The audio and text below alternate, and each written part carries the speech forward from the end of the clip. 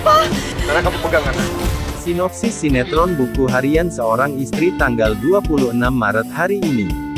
Dewa dan Nana saat itu sedang mengejar orang yang membawa Junior.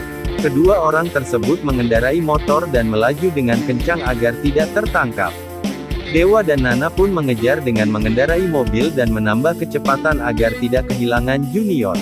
Mulai detik ini, saya sudah tidak mau lagi bela sama Nana.